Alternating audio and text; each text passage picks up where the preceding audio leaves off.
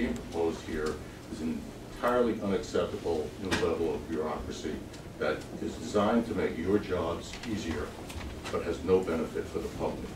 What's implied in this document is that had this structure been in place prior, that maybe better decisions would have been made, and we would not be in the financial situation we are in today.